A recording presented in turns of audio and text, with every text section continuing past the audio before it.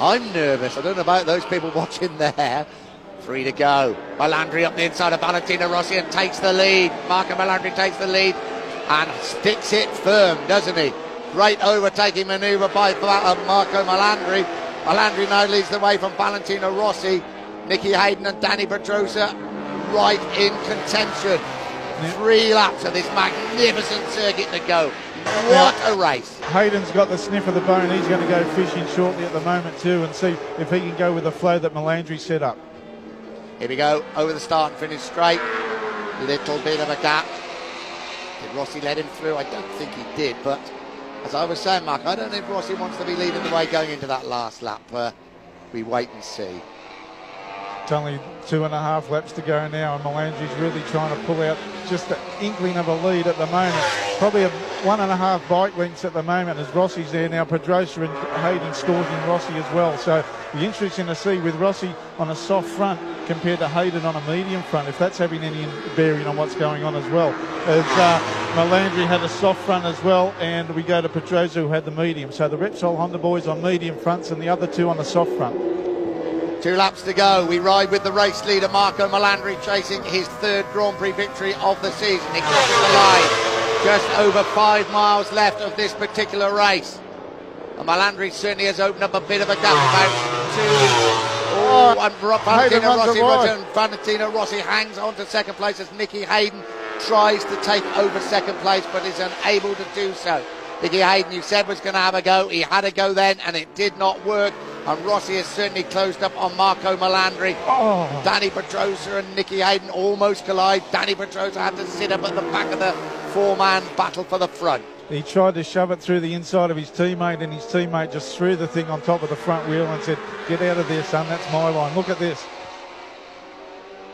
That's how close Nicky Hayden got to oh. Dani Pedrosa. That, that close, he, oh. he, went out of camera shot. Here we go again.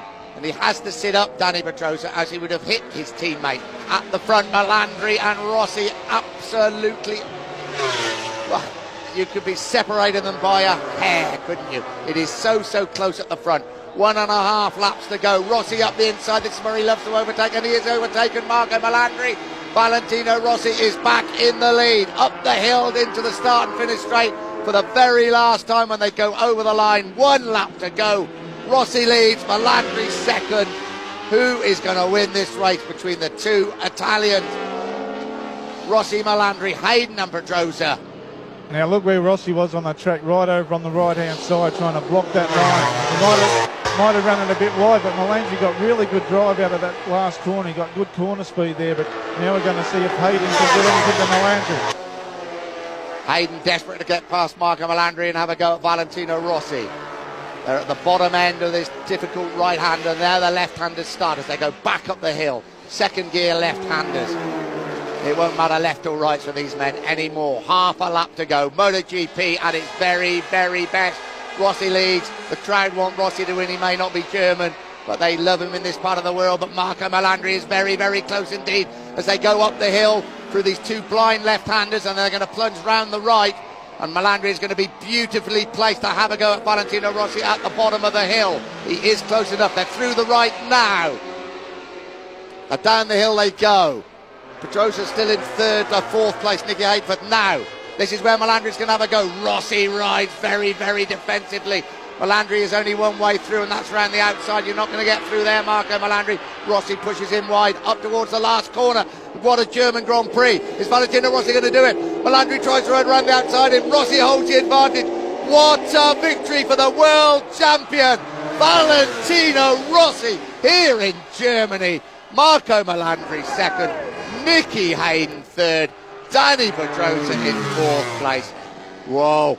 We've seen some great performances by the world champion, surely Mark Bracks. That was one of the very, very best. One of the best, and I'm just down here with the team. They're going absolutely ballistic. Jump David Brivio's all over Gary Coleman.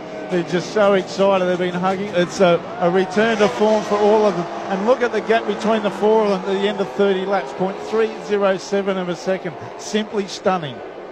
That was a simply stunning race.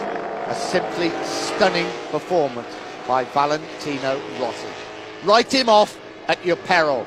Laguna Seca prepare for the arrival of the doctor. Nick, I've got David Bri- Brivio with me. What a win. Is that one of the best ra- races you've ever seen, Rossi? Yeah, unbelievable. I don't know. I, I don't even know. Every time is the best, and uh, uh, this this victory is really unbelievable. We suffer a lot in the practice, but uh, when it's race day, it's, uh, is unbelievable. And Jeremy and all the engineers they did a great job this weekend, and uh, it wasn't easy at all to start for this race, but. Valentino was fantastic, and I think the team was fantastic. Thanks, thanks to everybody. Thank you. Valentino Rossi kisses the fairing of his Yamaha. That was the